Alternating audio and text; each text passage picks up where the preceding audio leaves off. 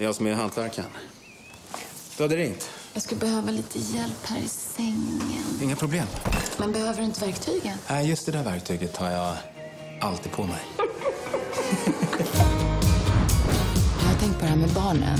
Att de träffas. Allt skulle bli så mycket enklare. Jag vill inte! Välkommen till orten.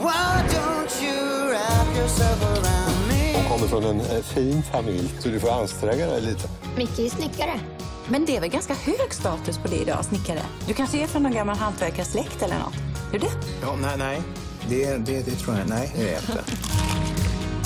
Vilken trevlig pappa du har, Micke! Ska han bo här nu? Ja, annars så ligger han med Anka.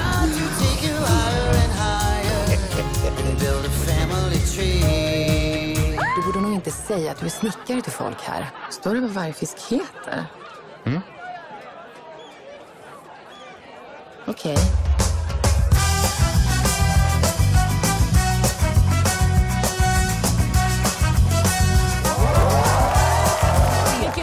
har skämt ut mig inför alla jag växt upp med. Du har inte växt upp.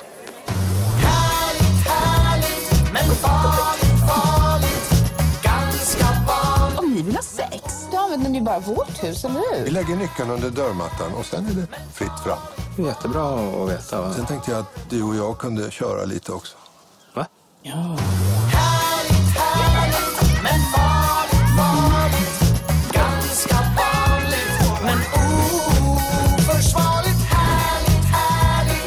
Micke, du är min bästa kompis.